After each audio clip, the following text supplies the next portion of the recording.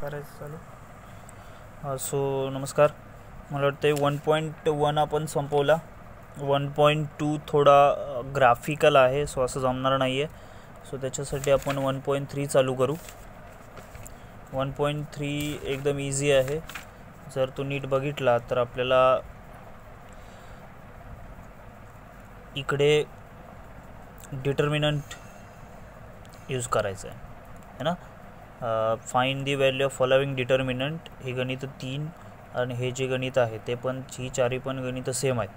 आहे ना तर डिटर्मिनंट म्हणजे काय? ह्या उभ्या ज्या दोन स्ट्रेट लाईनी दिलेल्या आहेत त्याला डिटर्मिनंट म्हणतात. है ना स्ट्रेट आहेत ना त्यामध्ये असे बॉक्स वगैरे नाही येतो. बॉक्स टाईप कॉलम नाही ते दोन स्ट्रेट लाईनी आहेत. सो याचा अर्थ तो डिटर्मिनंट आहे. निश्चयक. है ना मग ते आपल्याला बघायचं ते सोडवायचं कसं? तर पहिलं त्यांनी fill in the blanks with correct number त्यांनी असं सोडवायला सांगितलं आहे ते जर नीट बघितलं तर इथे नंबर आहे थ्री इकडे एक बॉक्स आहे यात फाय लिहिलेला आहे. इथे मायनस इथे टू आणि इथे फोर आहे ना? तर बॉक्स जो आहे तो तुमच्या बुकमध्ये मला वाटतं ब्लँक असेल. सो मग नक्की हे गणित म्हणजे काय आहे? तर हा जो डिटर्मिनंट तुम्ही परत एकदा काढायचा आहे तो काढल्यानंतर त्याच्यापुढे इज इक्वल टू टाकून हा नंबर आणि हा नंबर म्हणजे क्रॉस मल्टिप्लिकेशन. क्रॉस मल्टिप्लिकेशन करायचं आहे थ्री मल्टिप्लाय बाय फाय आणि टू मल्टिप्लाय बाय फोर. आहे ना? So three multiply by five आपण इथे लिहिणार आणि टू मल्टिप्लाय बाय फोर आपण इथे लिहिणार. आणि त्या दोघांच्यामध्ये आपल्याला मायनसचं साईन टाकायचं आहे okay? So three multiply by five minus two multiply by four आलं. मग आता याचा आन्सर पुढे. थ्री मल्टिप्लाय बाय फाय किती आलं? Fifteen. Minus two multiply by four किती आलं? एट आहे ना? मग त्यांचं मायनस टाकून आपल्याला सेवन हे असं आन्सर लिहायचं आहे.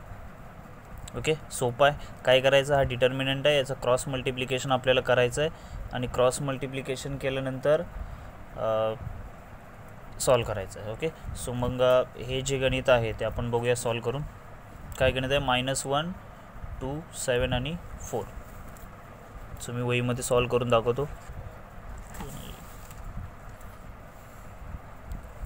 बघ काय दिलं आहे मायनस वन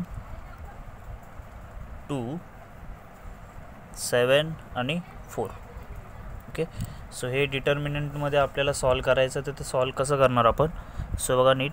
क्रॉस मल्टिप्लाय करायचं आहे त्याला. क्रॉस मल्टिप्लाय म्हणजे काय? So minus one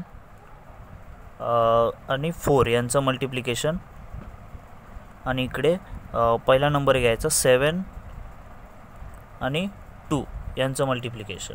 okay? आणि त्या दोघांच्यामध्ये कुठलं साईन आहे? मायनसचं. इज इक्वल टू परत खाली लिहिलं तरी टाकतो. पुढे नाहीच लिहिला खालीच लिहिला तरी चालेल. सो आता आपण यांचा गुणाकार करणार. काय आला यांचा गुणाकार? मायनस फोर आणि हे मायनसमध्ये होतं. यांचा गुणाकार किती आला? फोर्टीन है ना? तर मग आता हे साईन रूलनी सॉल्व करायला लागेल. तर साईन रूल आपल्याला माहिती आहे. मायनस आणि मायनस म्हणजे दोन्ही संख्या मायनस आहेत तर त्यांचं मला वाटते प्लस होणार. सो हे किती आला? एटीन. आणि मोठ्या संख्येचे चिन्ह लावतो आपण मायनस एटीन. आहे ना? सिंपल आहे.